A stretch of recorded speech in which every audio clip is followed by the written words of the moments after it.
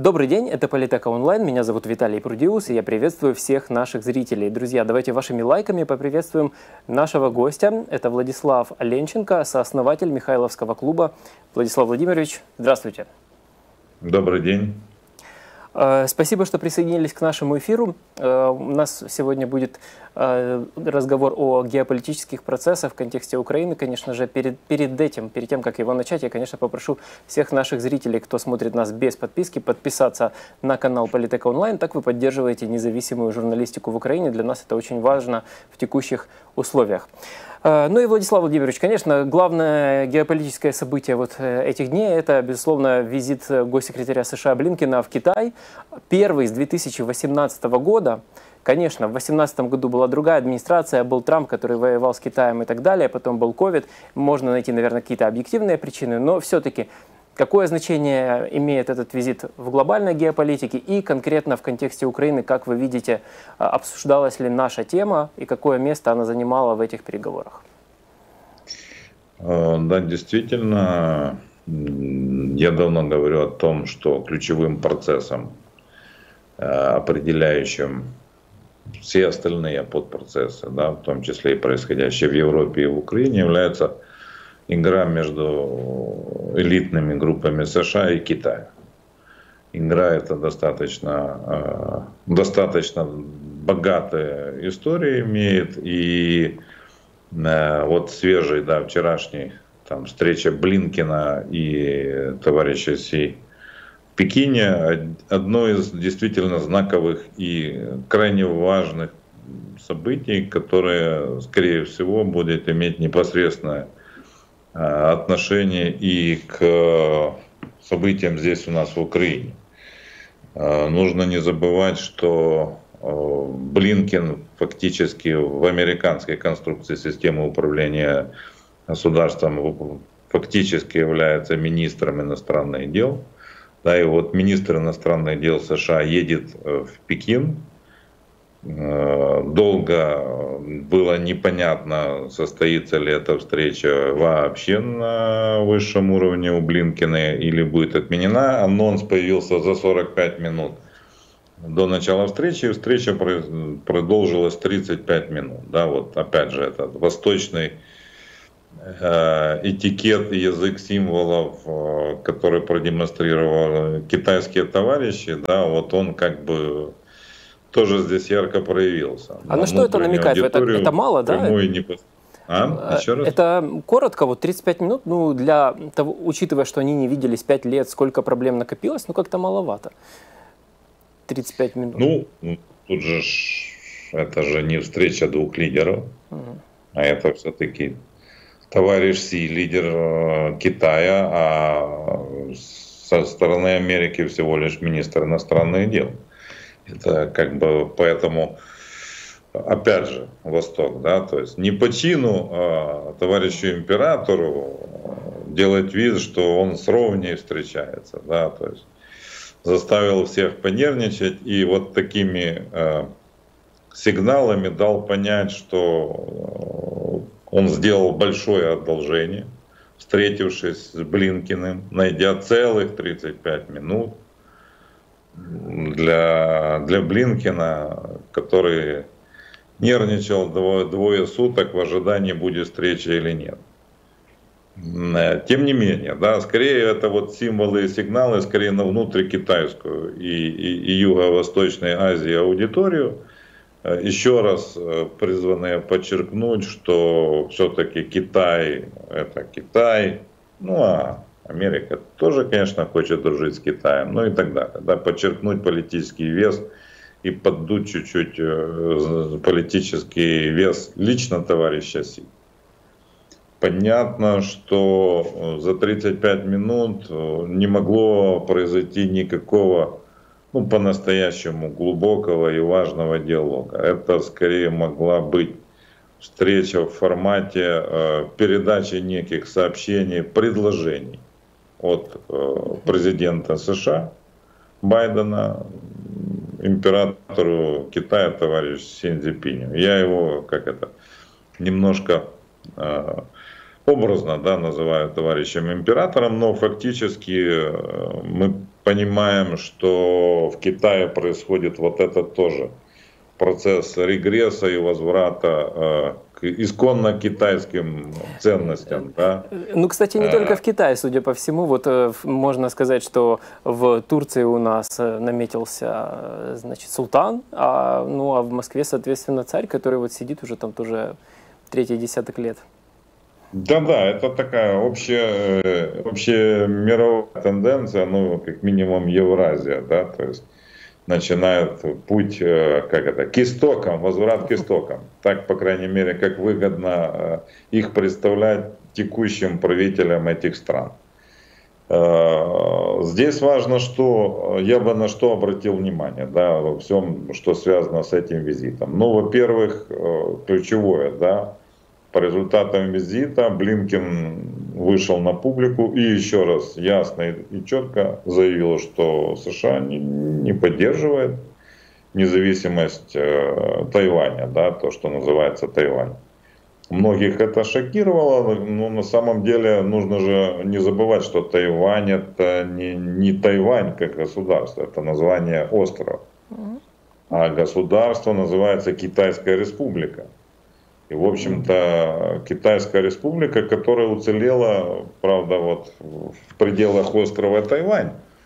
Но Китайская республика это именно та республика, которая выступила учредителем Организации Объединенных Наций и до 70 все время путаю, или второго или третьего года находилась э, в Совете Безопасности ООН. Да, это вот Чан Кайши, да, это вот... Гаминдан и, и вот это вот все.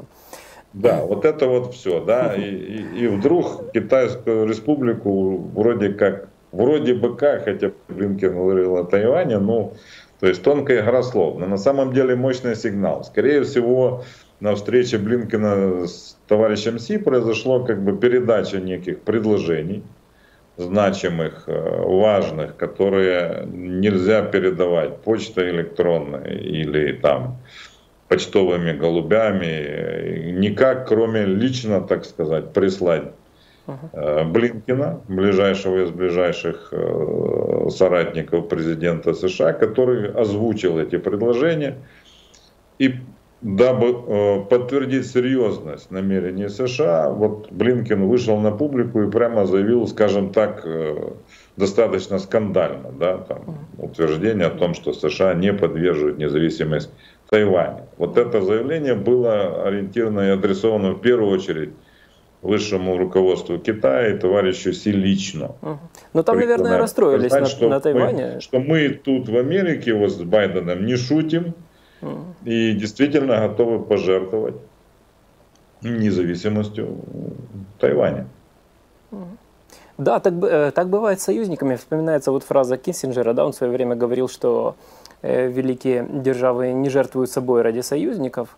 Э, ну, это приблизительно какая-то такая, такая же схема. Тут же вспоминается Афганистан, из которого вышли, в общем-то, американцы тоже в таком... Ну, это, конечно, мы уйдем сейчас далеко.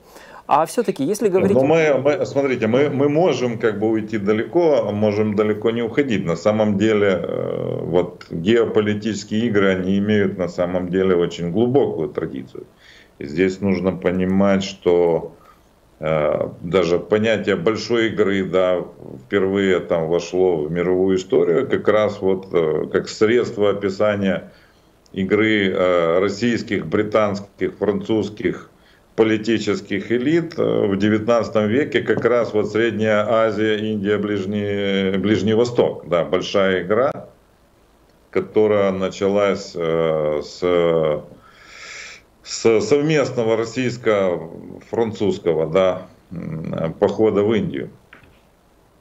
Мало об этом как-то мы знаем, но в общем это 1801 год, когда э, российский, император Российской империи Павел I, обидевшись на своих родственников и, и друзей британскую империю за то, что она вторглась на остров Мальту, захватила Мальту, Павел I считал себя, ну, гордился, скажем так, званием магистра, великого магистра Мальтийского ордена.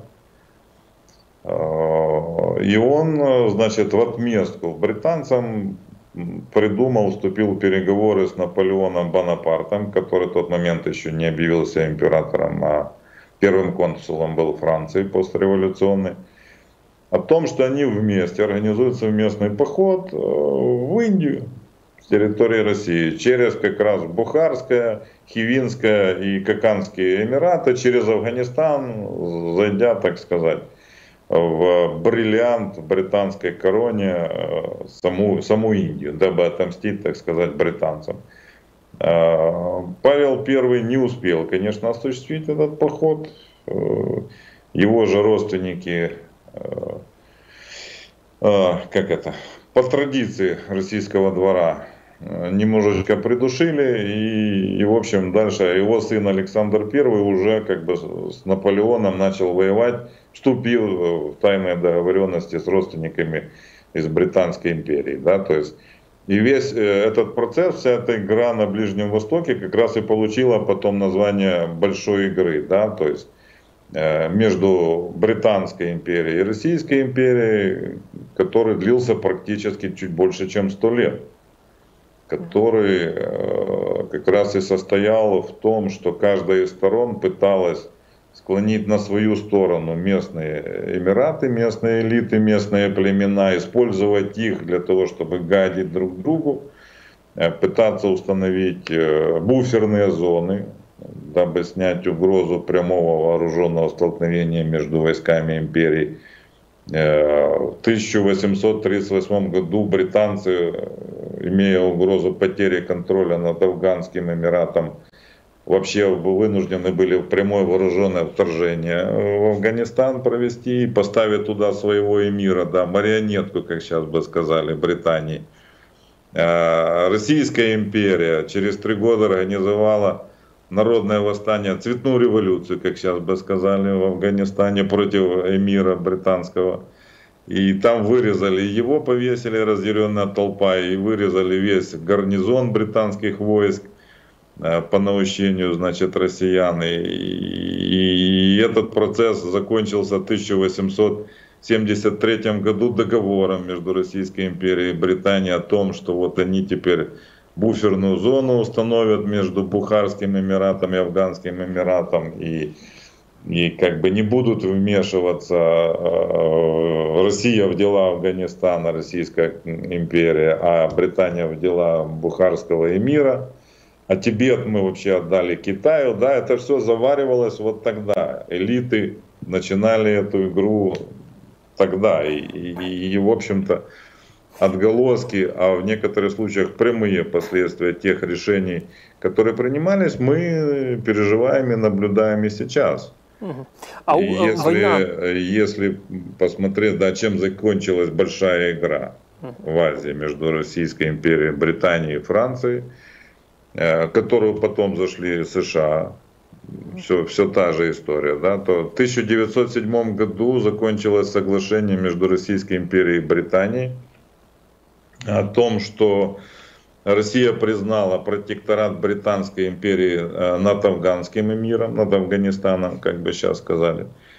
Э, вместе Россия и Британия признали принадлежность Тибета Китаю, что до сих пор как бы Тибет до сих пор не согласен, что их туда определили. Ну и самое главное, Российская империя с Британской поделили в 1907 году Персию между собой. Север Персии отошел к зоне стратегических интересов, как сейчас бы сказали, а тогда говорили протекторат Российской империи. Юг Персии отошел под протекторат в зону стратегических интересов британской э, короны, а центральная Персия, ну вот буферная зона между ними, некая центральная Персия, при этом на политических картах это никак не отражалось. Э, но в общем и целом оно во многом заложило конфигурацию да, того мира, который нам считает, сейчас да, известен и кажется тем миром, который был таким всегда.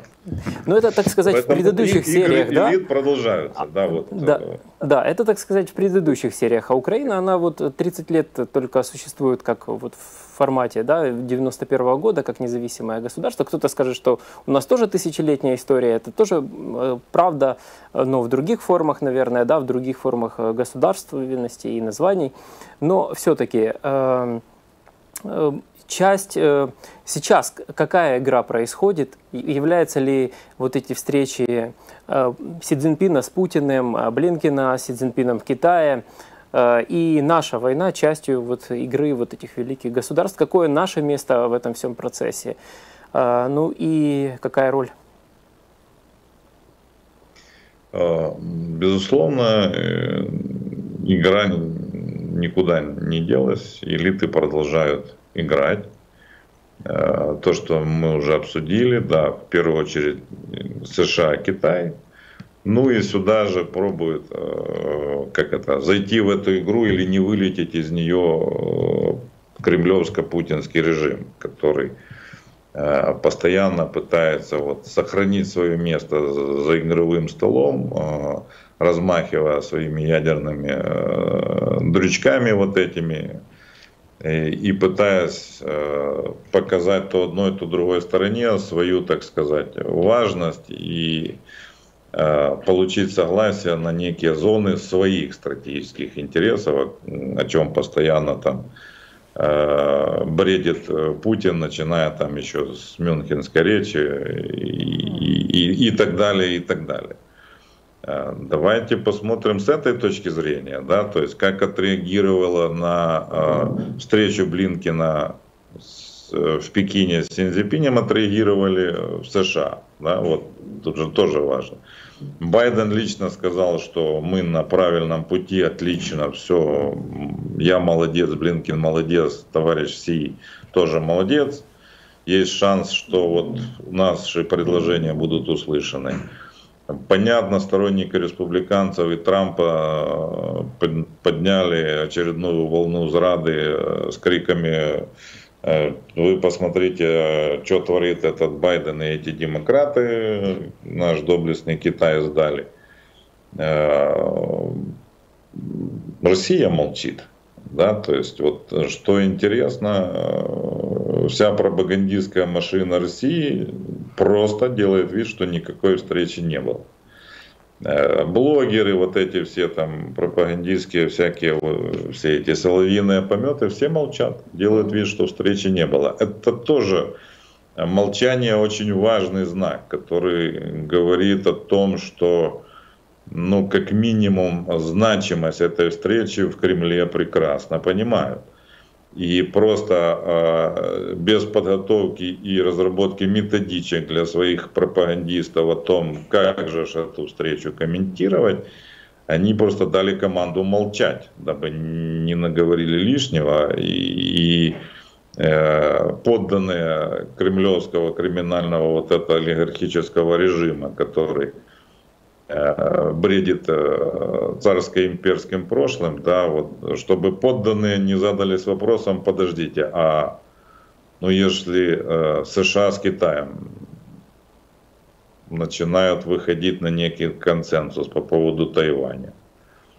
то может быть уже и э, будущее России, Китай, США как-то начинают обсуждать и выходить на консенсус, поскольку Э, ну, вот это вот странный э, режим, который э, взял на вооружение шантаж мира, ядерные катастрофы, как основное средство взаимодействия с другими игроками, да, вот этот режим, он не только напрягает Запад, но, очевидно, он напрягает и Китай, которому абсолютно не нужно Э, никакая ядерная война, никакое применение ядерного оружия вообще кем бы то ни было.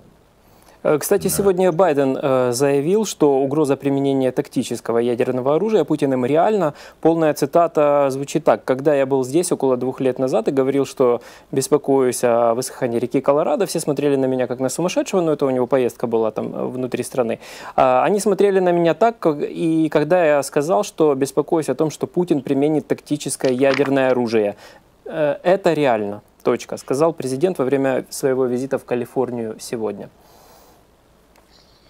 А, да, одно из, э, как это, под, подпроцессов в рамках накрывающей большой ключевой игры Китай и США, да, вот игра США, Россия, э, Европа здесь в Украине тоже, э, тоже как бы для нас не менее важно видеть и понимать, потому что самый опасный враг это тот враг, существовании которого ты не догадываешься. Да? То есть вот здесь Украина должна понимать, кто вокруг и кто они на самом деле. Враги, друзья, э, э, союзники, соперники, противники или действительно э, партнеры да, в том или ином процессе.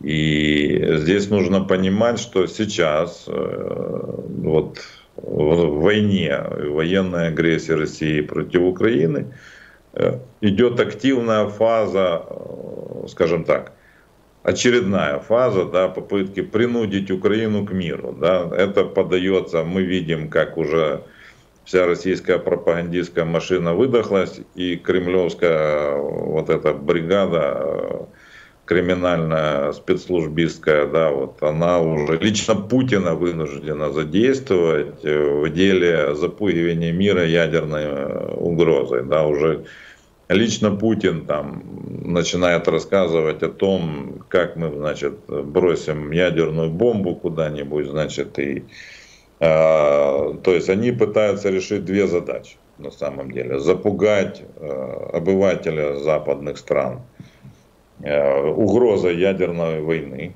в первую очередь европейцев, во вторую очередь США, дабы они надавили на своих политиков и прекратилась военная и финансовая помощь Украине со стороны Запада. С другой стороны, э, в США в следующем году выборы, и администрации Байдена не менее важно получить перемирие и некие, как это, ну, если не вечный мир, то хотя бы иллюзию э, некого стабильного мира да, в Украине, поскольку это будет воспринято американскими избирателями как победа, конечно же, Байдена и демократов.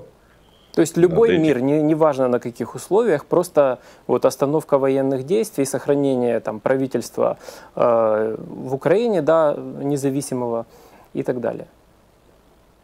Да, для администрации Байдена это очень даже, скажем так, ценный приз из всей этой ситуации. И если Украина и Зеленский ему этот приз подарят к концу этого года или в начале 24-го, то это серьезно повышает шансы на победу Байдена осенью 24 года на президентских выборах.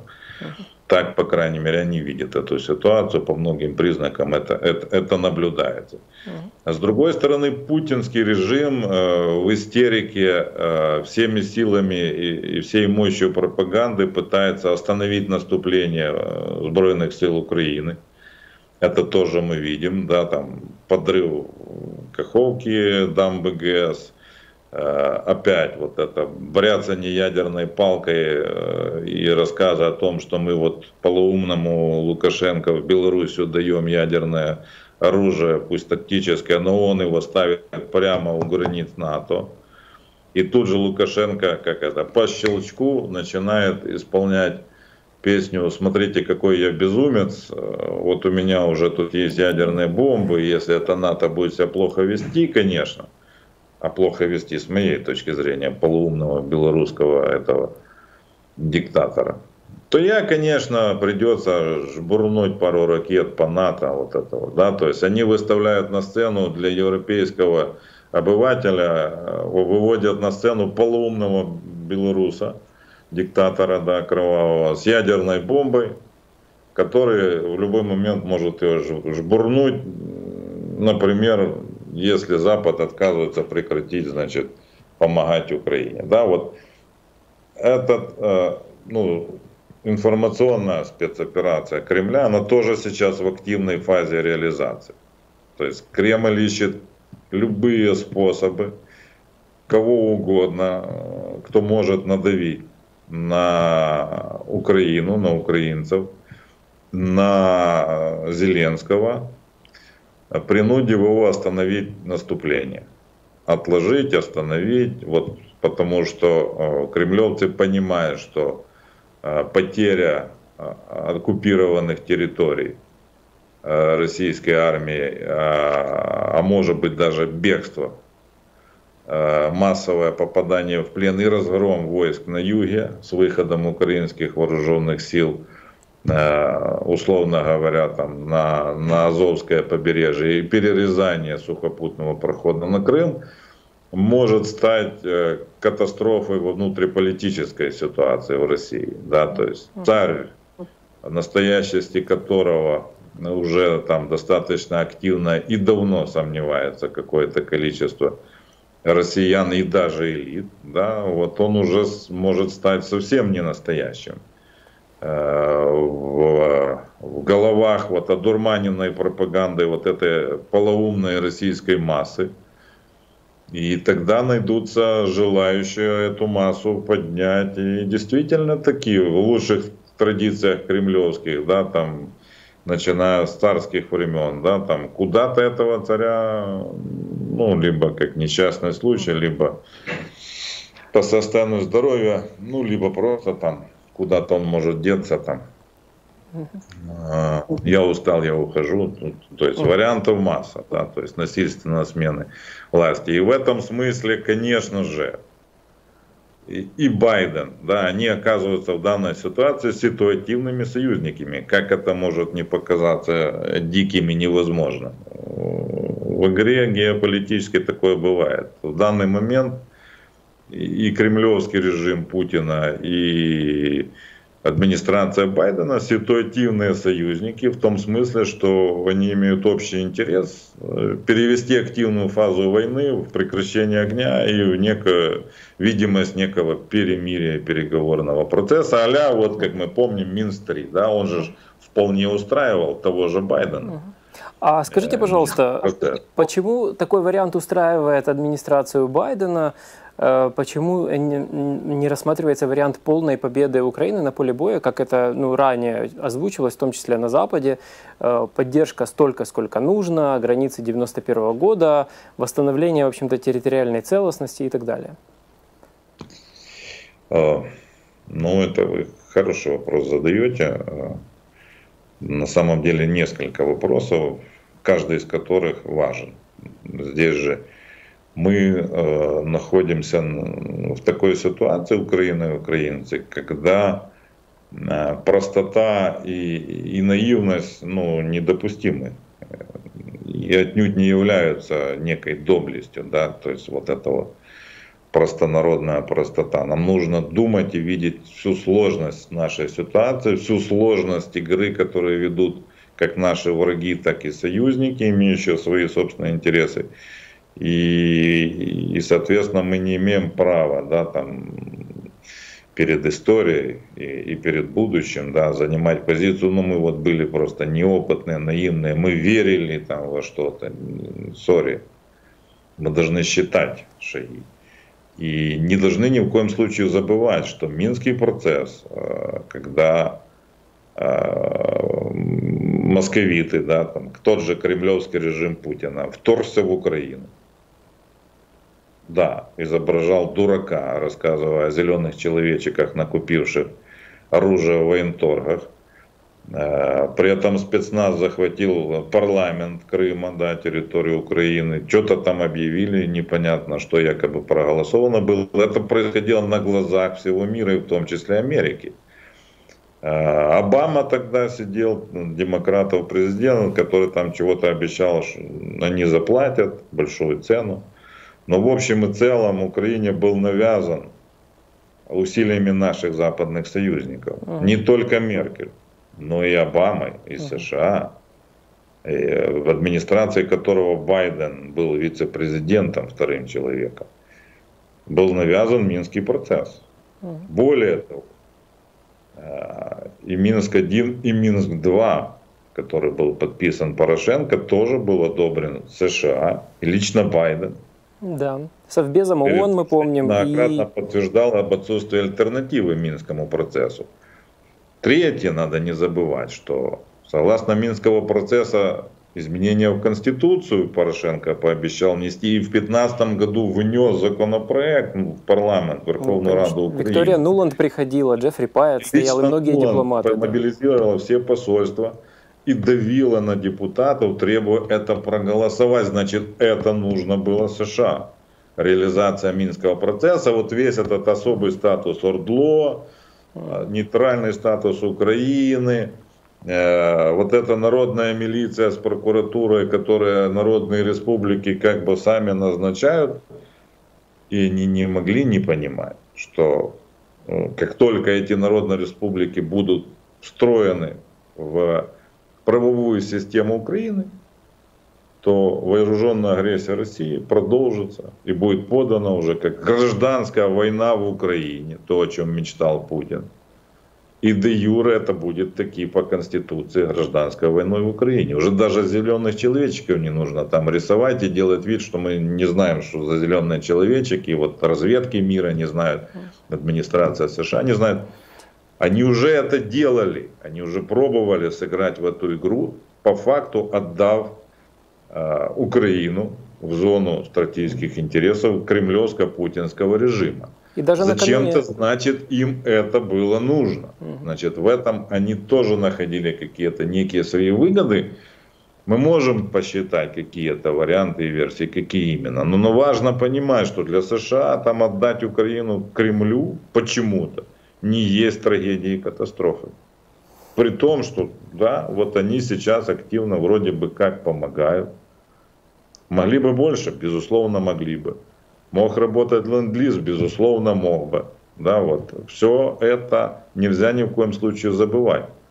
И четко понимать, что сейчас такой период, когда и США, администрации Байдена, и путинскому режиму ситуативно они заинтересованы оба в прекращении активных боевых действий и имитации некого мирного переговорного процесса. Ну, такая вот на текущий момент раскладка. И в этом смысле, кстати, позиция Европы, в том числе э, Германии, Франции, ну, Британия с первых дней как бы стояла на своей позиции. Да, но мы увидели, как они изменились, и здесь уже и танковая коалиция, и самолетная коалиция, да, о которой многие сейчас говорят, что она уже сформирована.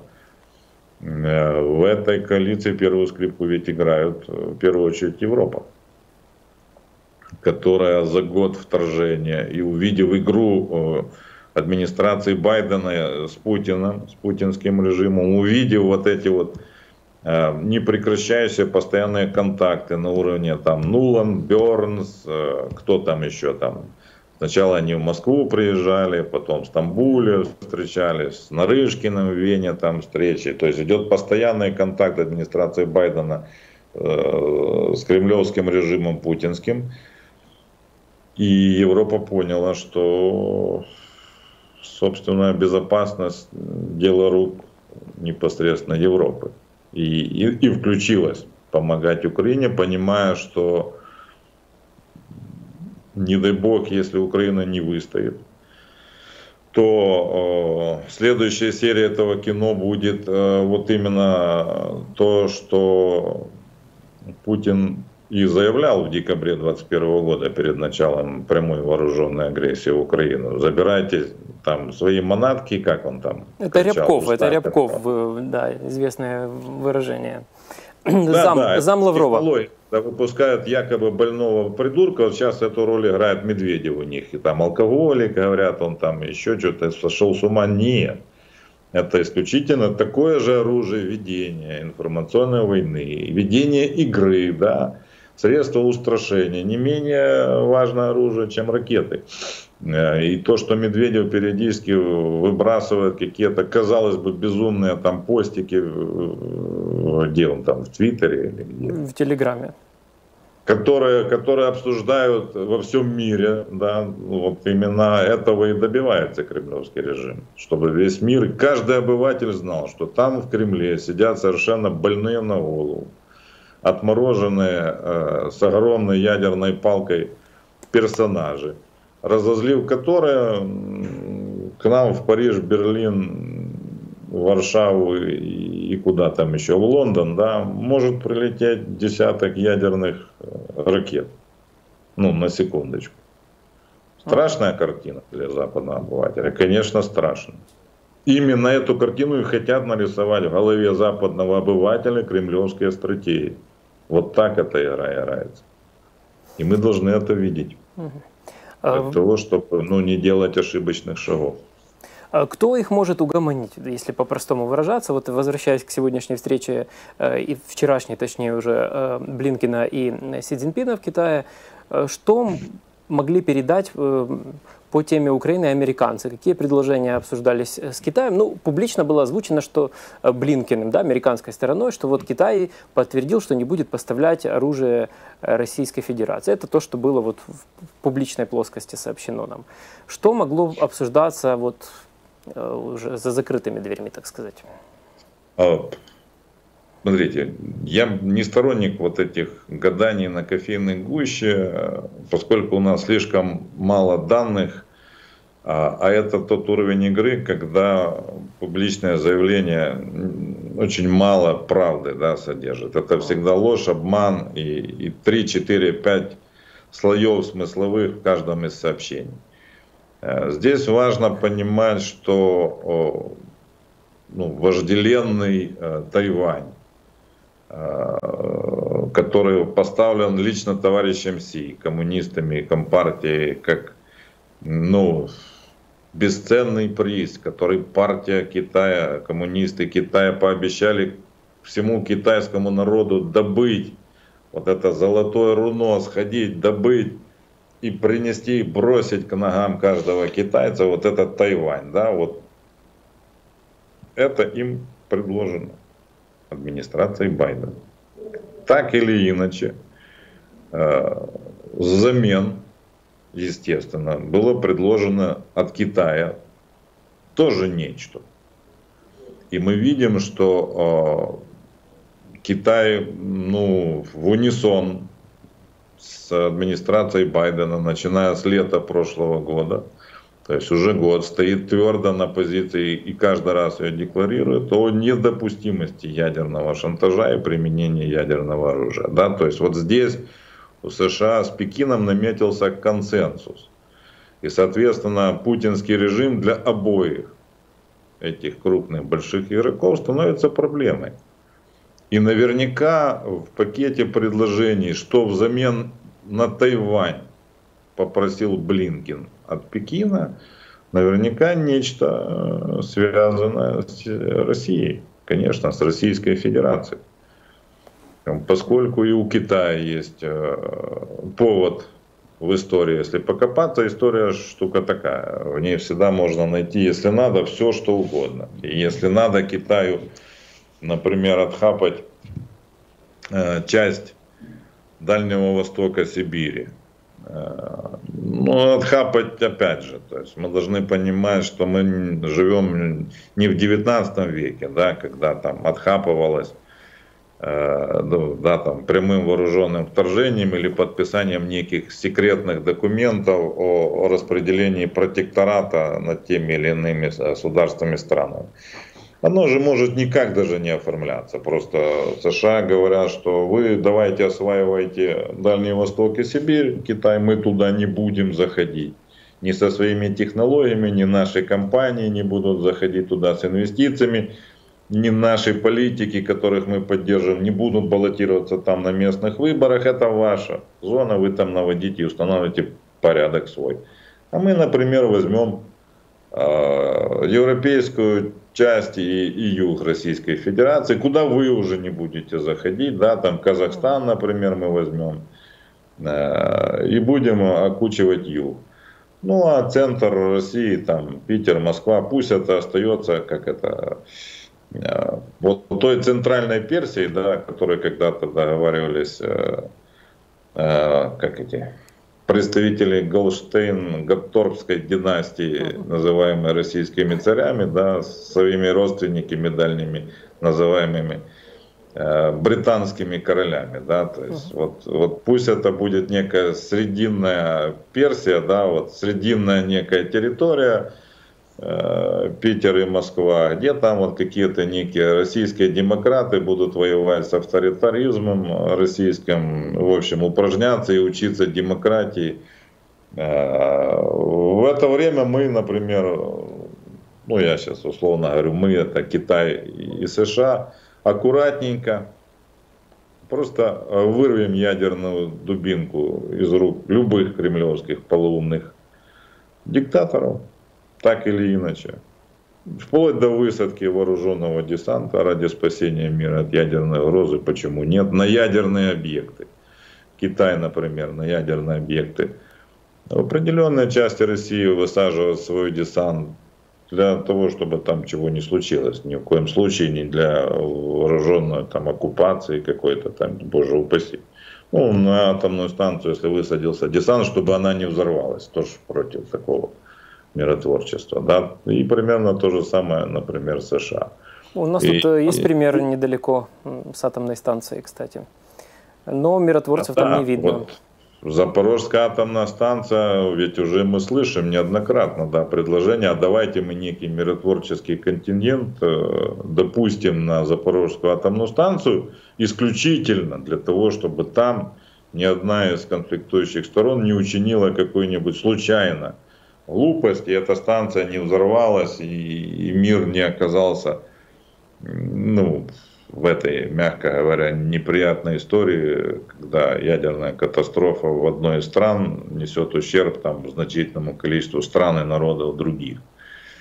Поэтому если в Запорожской, например, на Запорожской атомной такой сценарий будет проверен, отработан, опробирован и принят, то почему бы в условиях, когда накаляется политическая борьба в Кремле и нестабильность в России накаляется, то почему бы мировому сообществу, а в частности США и Китаю, например, не взять на себя ответственность за все ядерные объекты на территории этой зоны нестабильности и в разом, так сказать, высадить своих специалистов и силы безопасности на ядерные объекты. Опять, фантазия. Но мы находимся на пороге только в самом начале событий, которые еще там 3-4 года назад казались совершенно невероятными. Вот, вот мы заходим только в эту череду событий. Скорее всего, это порядка 7-8-летний период предстоит еще, на выходе из которого мы получим тот мир и ту конфигурацию, которая будет очень мало похожа на, на тот мир, который мы знали до, до 22 года. И наша общая задача Украины правильно понимать происходящее и на выходе из этого процесса оказаться намного более сильной и лучшей ситуации, как народ, нация, как государство, как страна, сумевшая э, поломать игру сильных игроков, сдвинуть ее в свою сторону, в свое направление. И нам из этого процесса нужно будет выходить намного более сильным. И, и уже понятно, каким, в, каком, в, каком статусе и в каком положении мы должны оказаться в идеале. А, а опишите подробнее, какие цели должна поставить себе Украина, по-вашему, а, какие реально достижимые результаты могут быть у нашего наступ, наступления, вот наступательной операции на юге и в целом а, по вытеснению оккупантов с наших территорий. Ну э, и в целом, какой может быть сценарий мира, который устроит Украину? У, сколько у нас времени осталось? Ну, минут Потому 10. Же... Давайте попробуем. Сколько? Минут 10, давайте попробуем. Минут 10. Давайте, э, во-первых, э, мы должны понимать, что а, здесь э, мы уже сделали выбор стороны, да, вот в глобальном противостоянии. Мы на стороне Запада. и, и отнюдь не на стороне России уже там оказаться не можем. Россия даже это тоже, кремлевские упыри уже тоже поняли, что Украину можно даже оккупировав, ну, в общем, уничтожить не очень получится. Э, недавняя статья вот этого кремлевского кгбистского аналитика Караганова, да, вот, э, которую обсуждали еще стоит внимательно разбирать. Там написано прямо, да, там три сценария для кремлевских правителей.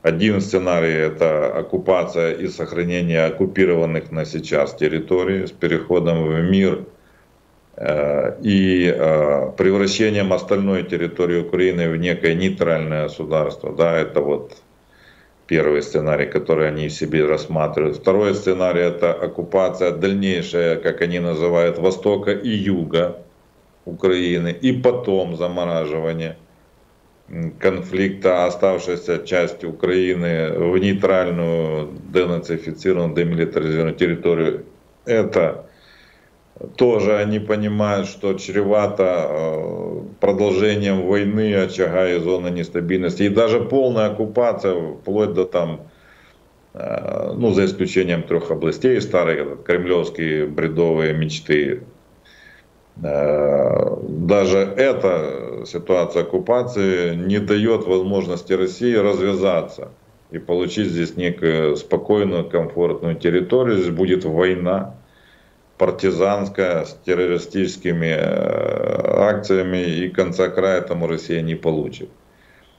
И э, отсюда тот же Караганов там же рисует, скрывает цель, идеальную ситуацию будущего для кремлевской стратегии, как он ее предлагает. А он очень авторитетный и весомый аналитик считается.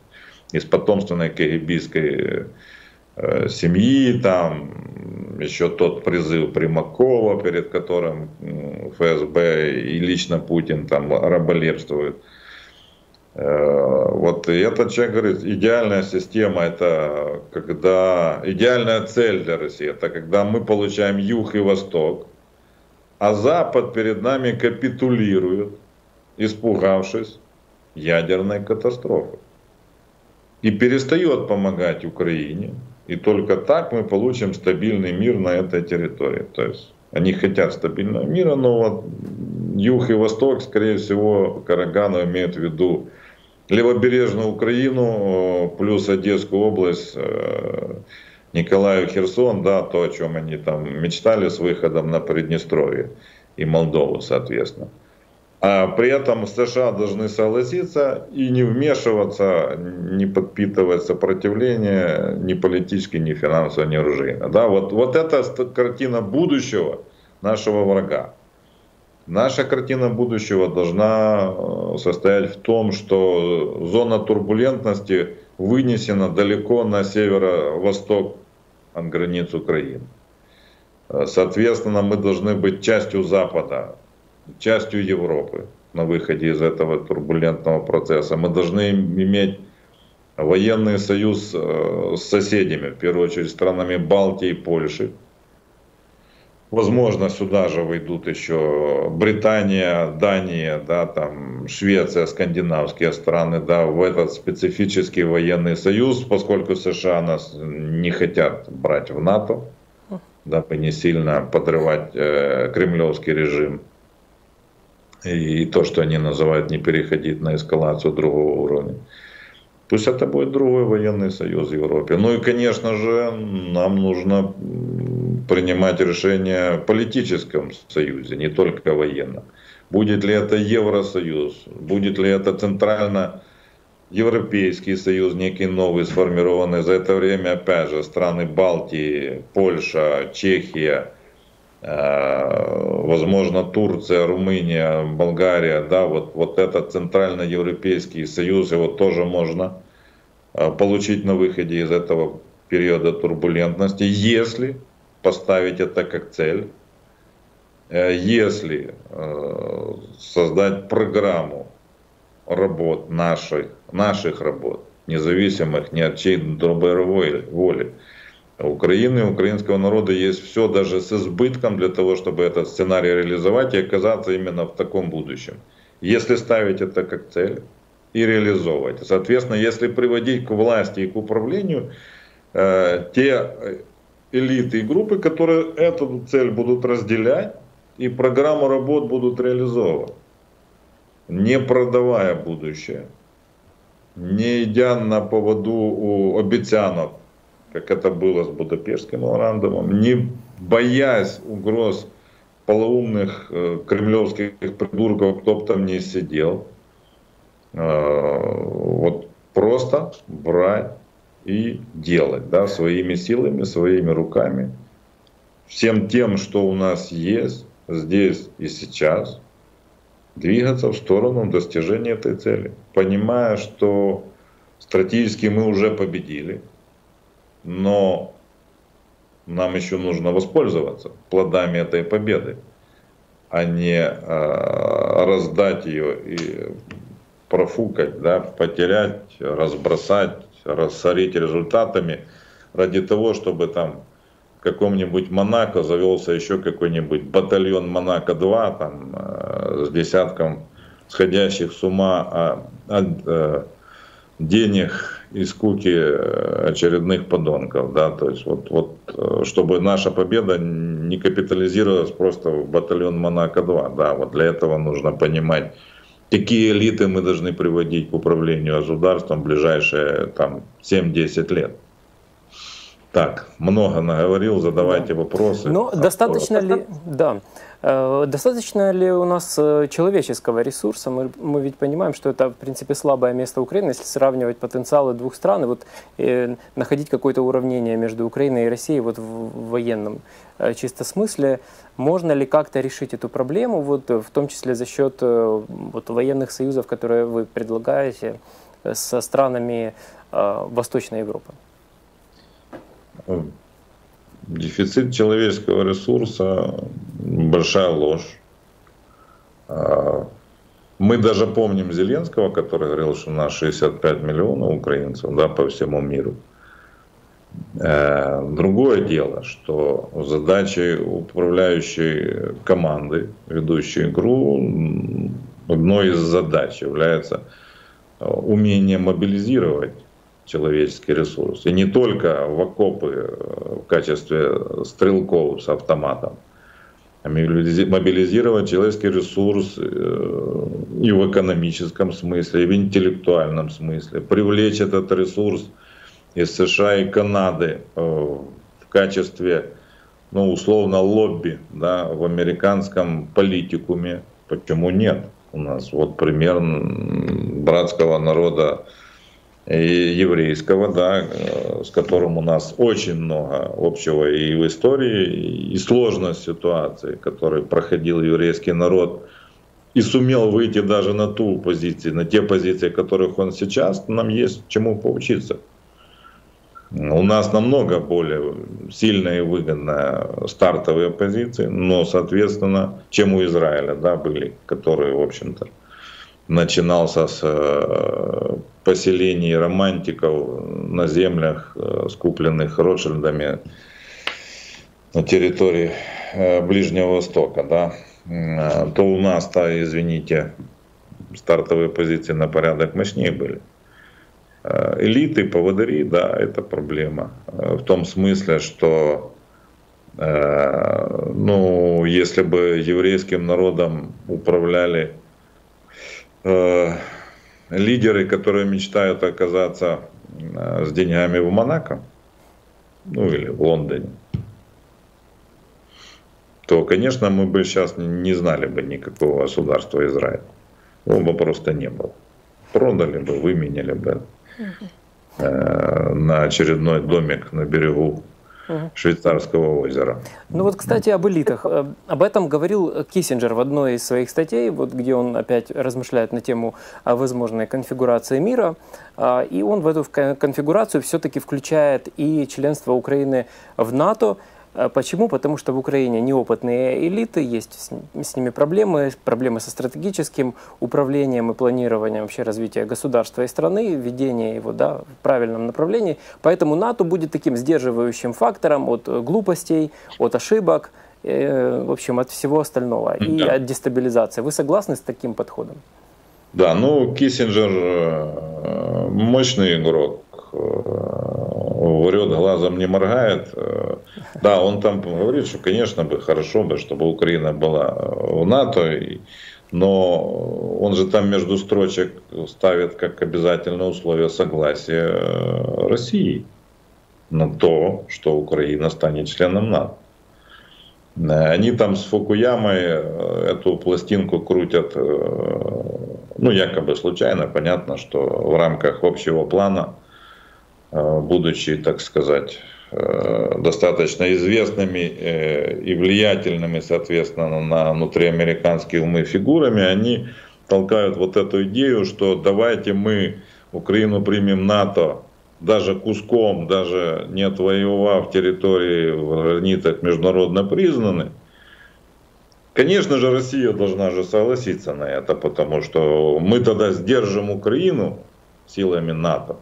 И украинцы не будут претендовать на отвоевание значит, захваченных Россией территорий. Да, там же вот такая вот пластина. А дальше я задам простой вопрос. А, простите, а, а если Россия не согласится с такой логикой и не даст добро на то, что Украина станет членом НАТО, то что? Ну, тогда Киссинджер разведет руками, как с Будапештским меморандумом, скажет, ну, видите, мы же что думали, они-то люди разумные там в Кремле. Ну, они не хотели. Ну, значит, Украина не будет в НАТО. Мы сейчас давайте найдем особые условия, гарантии. Ну, то есть начнется выдумывание очередной обманки, которая э, призвана будет успокоить и обмануть украинцев, но э, для этого нужны продажные элиты в Украине которые сделают вид, что они этого не понимают. Так ровно, как сделал Порошенко в 2014 году, сделаю вид, что он не понимает, что произошла военная агрессия другого государства, объявит АТО, например, как сделал Порошенко – и э, даже не инициирует ни Порошенко, ни Зеленский консультации по Будапештскому меморандуму, хотя Зеленский это сделал накануне вторжения. Мы помним, Кулеба заявил, что давайте-ка ну, консультации по Будапештскому меморандуму. Но, но потом сложно... вторжение, и в общем стало не до этого. Да, а, простите, но тут вспоминается встреча... подыгрывать обману. Простите, тут вспоминается встреча в Женеве весной 2014 года, как раз вот в Будапештском формате, была она на уровне, если я не ошибаюсь, министров иностранных дел э, в тот момент. Э, встречались, ну, тогда Женева ассоциировалась больше с сирийским там, процессом, да, мирным, но э, попытались один раз встретиться. А потом да, уже образовался нормандский США формат. присутствовали. Это был так первый так называемый женевский формат еще Турчинов, потом решили, что президентом будет Порошенко. Это опять же был договоренность на уровне группы Нулан, Сурков, э, Левочкин, неформальная группа, Киссинджер, который приезжал регулярно в Москву и в 16 году чего он там получил? Приз какой-то там от кремлевцев. Да? То есть это все вот эта элитарная группа, которая, э, начиная в Женеве, просто договорилась с нашей на тот момент управляющей элитой украинской, что они будут подыгрывать. И Турчинов и Порошенко подыгрывали, делая вид, что они не понимают, что за зеленые человеческий, делая вид, что они не понимают, что армия в Крыму украинская расположена не может без приказа как бы начинать воевать с Россией. Да? То есть очевидно, что это российские войска. Они же сдали Крым, делая вид, что это не российская агрессия. Подыгрывать, да, поэтому я и говорю, что элита, если национальная, патриотичная элита, да, вот так как было с еврейским народом, когда они создавали э, свой дом для евреев на этой земле, да, так, так они и создавали дом для еврейского народа на этой земле. Э, да, пусть, э, пусть это люди были из, э, как это, из экстремистского крыла, национально ориентированных патриотов, но с ними нельзя было бы, невозможно было бы договориться о том, о чем договорились, например, с Турчиновым и Порошенко. С ними невозможно было бы договориться о таких вещах, о, о, о продаже, сдаче и предательстве своего народа невозможно. И качество элит, и, и готовность этих элит служить ну, чему-то большему, нежели очередной мешок денег и очередной дом в Монако или очередной самолет, что там, Rolls-Royce еще один, яхта еще одна, да, то есть, ну, это пошло. Это элиты первого этапа такие могут быть, да, после голода там не могут нажраться. Но если мы говорим о серьезной игре, то ну, в серьезные игры играют только люди, которые уже доросли до понимания, что деньги это такие средства, о чем еще наши классики писали, и не могут быть целью. Если ваша цель деньги, ну вы несчастный, бедный человек, который еще просто не понял, насколько беден и несчастен этот человек, если ваша цель деньги. Но это мы сейчас уйдем э, в философию. Да, конечно. Ну, всем очень да. важно сделать и с 2014 года, и со всех остальных последующих периодов, да, выводы правильные, выводы и избирателям, и элитам, э, в том числе, возможно, они могут тоже как-то трансформироваться, обучаться и развиваться в правильном направлении, учитывая всю ту трагедию, которую сейчас переживает страна, и за которую несут, наверное, ответственность все, кто, кто ей управлял. А, ну, а мы будем верить в лучшее, в то, что все-таки украинские вооруженные силы будут удивлять нас, э, так как они это сделали и в феврале 2022 года. Э, и мы верим в то, что произойдут э, действительно достижения и на поле боя, и в дипломатии, и в наших элитах во все последующие периоды.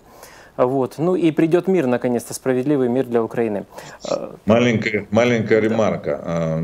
Ни в коем случае мы не должны а, занимать вот позицию а в зрительном зале а, в надежде, что там есть какие-то сбройные силы, которые нас там должны удивлять, а мы тут в зале будем попкорн и, и кино смотреть. Нет, это наше дело. Помогать всем, чем можем. Работать, донатить на, на подразделения своим родственникам, знакомым, друзьям. Да, да, вот это наше дело. Мы не в зрительном зале сидим. И ждать, что нас удивят, никто не удивит. А мир, мир мы обязательно получим тот, который нужен нам, если будем работать а не в позиции сторонних наблюдателей. Мир обязательно придет, и тот мир, который нам и не снился, учитывая уже цену заплаченную за право на такой мир, прекрасный, замечательный мир, э, который нужен нам, а не Кремлю, либо каким-то его там э, международным партнерам в силу тех или иных обстоятельств. А тот мир мы, мы получим тот, который нужен именно Украине и украинцам. Да, Владислав Владимирович, полностью вас поддерживаю. Я думаю, что наши зрители также поддерживают. Друзья, поставьте, пожалуйста, лайки э, нашему гостю, поставьте лайки нашему проекту, подпишитесь на Политеку. Это важно для поддержки независимой журналистики в Украине в текущих условиях. Мы работаем именно для вас. Э, ну и я благодарю за интереснейший эфир э, Владислава Оленченко, сооснователя Михайловского клуба. Владислав Владимирович, спасибо вам. Приходите еще. Спасибо. Всего доброго.